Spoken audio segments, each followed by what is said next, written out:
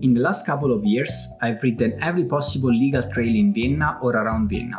And in this video, I will show you which are my top 5 favorite trails that I love to ride every single year. Since I love to ride flow trails, technical trails and bike park style trails, this ranking will contain all of these types.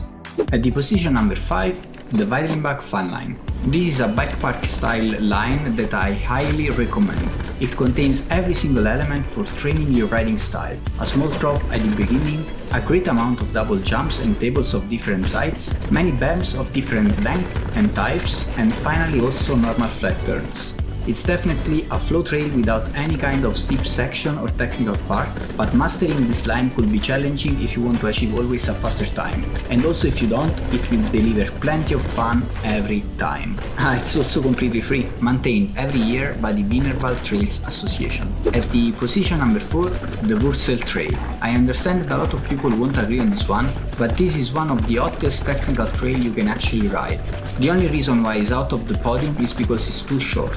As the German name suggests, this trail is basically a sequence of steep sections with an endless amount of roots to ride, where you can challenge your bike control and actually if the tuning of your suspension is correct.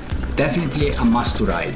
One tip, after the first cross, I would suggest to take back the uphill since the second part of the trail has nothing to do with the first one. At the position number 3, Husarentempel Trail. Located in Anninger, this is probably the most technical legal trail you can ride. There are different lines and options, with the first part that contains really challenging steep sections for different skill levels. In the second part you can choose between the red and the black line. In both cases overall the ground is narrow with moderate steepness and some sections are also more tricky because there are some rocky step downs where you have to be careful.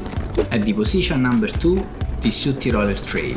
This is probably the trail that I've ridden the most. The first part of this trail this year is still not open due to the works in the forest. In the past it was very flow and nice, a lot of flat turns and overall not steep and technical. Some parts require anyway attention, in general you will find also few little jumps, but probably from this year the first part will be completely different who knows. The second part is also very flow, but the shape of the ground is a bit different, especially at the very beginning.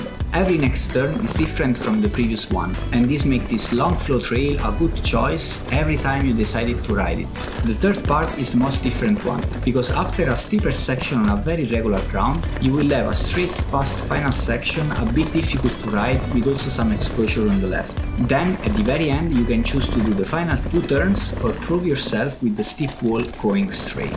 At the position number 1, the Kenda line. Located in the Trail Center Wien, riding completely this trail was one of my achievements of the last year. This is in my eyes the best line Vienna could offer. A bike park line with nice and different berms and a lot of jumps and features where you can prove and improve your skills. In particular, some features in the middle section and the very last part that consists in a drop, three jumps with gap, and a table jump require definitely a proper training. Since we are talking about a city bike park, to ride this one you have to pay the entrance. Then you can choose to go up with your legs, helped or not by an electric motor, or pay the lift or the shuttle, depending on what's offered in the moment.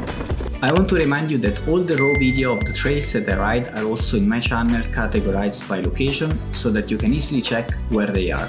I hope you will find my tips useful, and if you are a rider of this area, I would like also to know if you have other trails that you prefer to ride compared to my top 5 list. In the meantime, have fun and see you on the trails.